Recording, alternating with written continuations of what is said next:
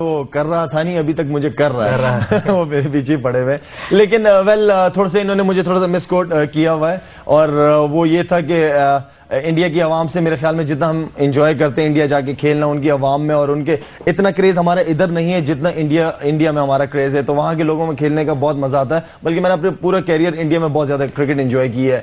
और इसके अलावा आई थिंक मीडिया में अगर मैंने किसी के बारे में कहा है तो मीडिया में कुछ जो मीडिया वाले लोग हैं उनकी बहुत ही नेगेटिव और बहुत ही गंदी किस्म की सोच है हम पाकिस्तानियों के बारे में पाकिस्तान के बारे में। जो कि मेरे ख्याल में अगर चाहते हैं कि पाकिस्तान और इंडिया आपस में फ्यूचर क्लोज से क्लोज रहे तो उनको अपना माइंड और अपना थोड़ा सा बड़ापन दिखाना पड़ेगा। नेगेटिव फ्रेम ऑफ़ माइंड हमें पता है कि इंडिया की तरफ़ से आप लोग बेहतर जानते हैं मीडिया में आप लोग।